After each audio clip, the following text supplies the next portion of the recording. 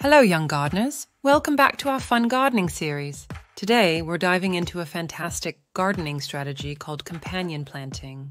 Ever wonder if plants can have best friends? Just like you might have a friend who cheers you up or helps you with homework, plants can benefit from having certain neighbors too. Let's explore how companion planting works and why it's like arranging playdates for your plants. Companion planting involves placing certain plants near each other because they help each other grow better. This can be due to many reasons like deterring pests, improving growth, or even enhancing flavor. It's a natural way to protect and strengthen your garden.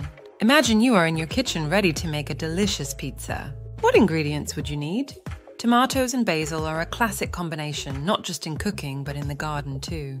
Planting basil next to tomatoes is a perfect example of companion planting.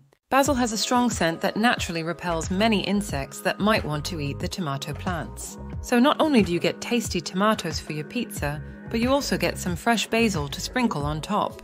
But let's look at another example. Carrots and onions make great garden pals. Why? Because onions can help protect carrots from their most common pests, like carrot flies. The strong smell of onions confuses these pests, making them less likely to bother your carrots. It's like having a friend who keeps the bullies away. And there's more. Some plants can even share nutrients. Beans, for example, have a unique ability. They can take nitrogen, a vital nutrient for plant growth, from the air and fix it into the soil in a form that other plants can use.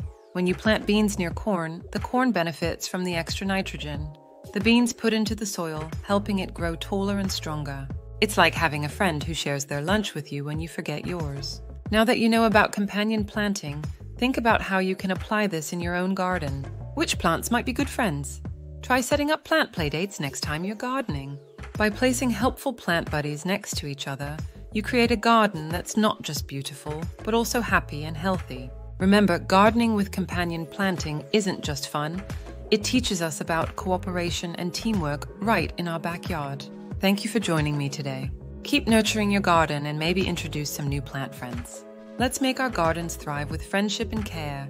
Until next time, keep exploring the wonders of gardening and how you can make your green space the best it can be.